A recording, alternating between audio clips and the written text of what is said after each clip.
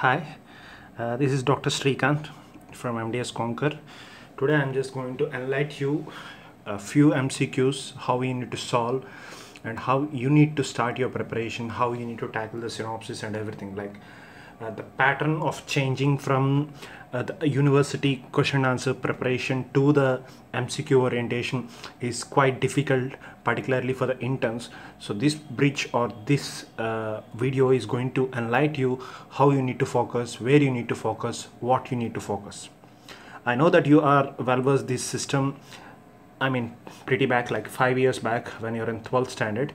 So I, I think uh, that huge gap is making lots of difference of your attitude. So just going in detail, we'll start with the first question.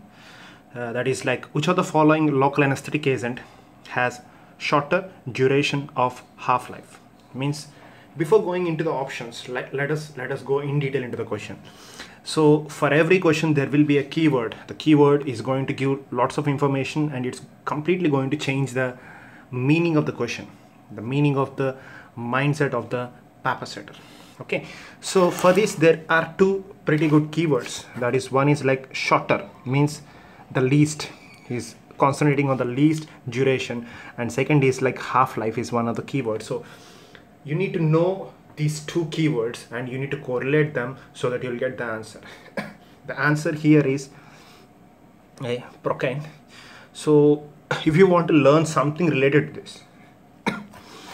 Pardon? And uh, you need to move to the next one. Okay?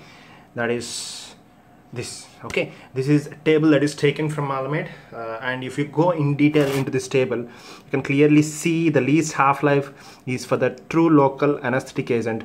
One is chloroprocaine and one is procaine that is 0.1 hours. 0.1 hours is nothing but if you want to convert into minutes that is 6 minutes and there are many MCQs that a paper setter can prepare from this table.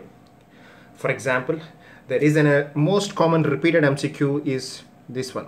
That is 3.5 hours. That is bupivacaine which of the following local anesthetic agent has highest half-life? Bupivacaine is the answer and its the value is 3.5 hours.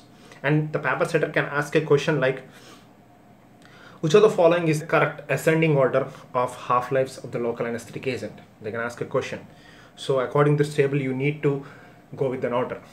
They can ask a question like this. Which of the following local anesthetic has highest duration of action? They may not give bupivacaine in the option.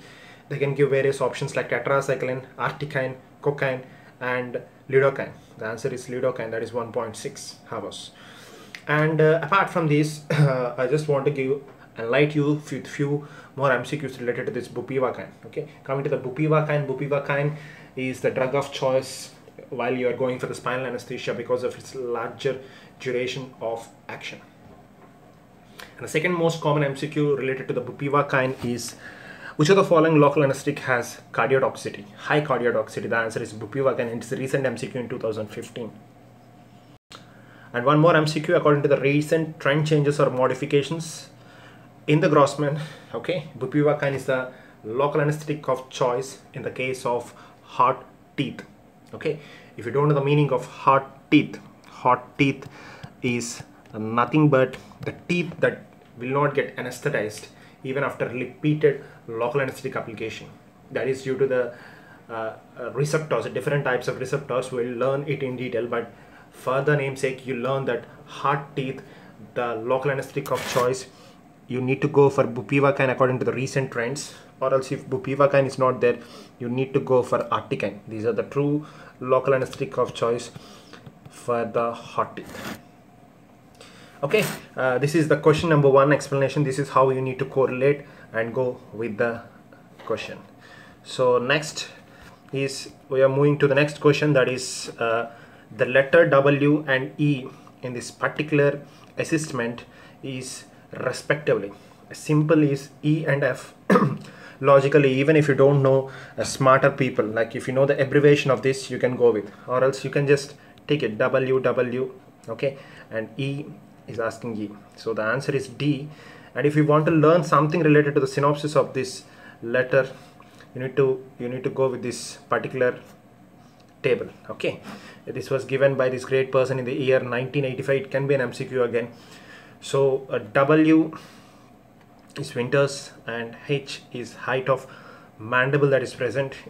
A is angulation of the third molar with the long axis of the second molar.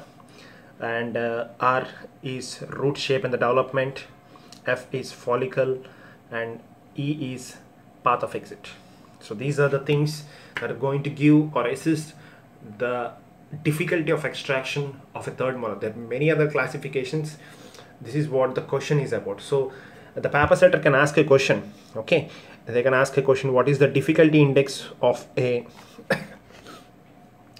mesoangular impacted third molar with a height of mandible of 31 to 34 millimeters and angulation of third molar related to the long axis of the second molar is 50 degrees and the root shape is favorably curved and the follicle is enlarged with a path of exit means the space is available for the path of exit and they can ask you a numerical. This can be this can how a simple question can be converted into a tricky question.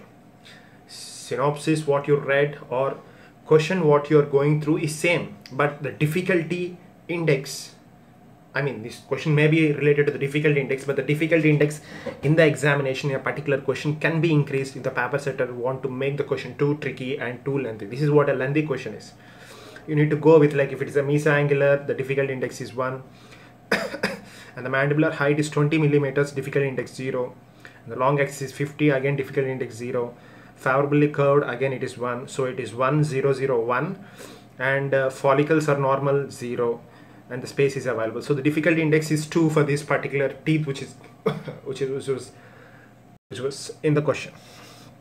So this is how you need to correlate the question thank you and uh, we have lots more discussions to come over. Uh, please try to subscribe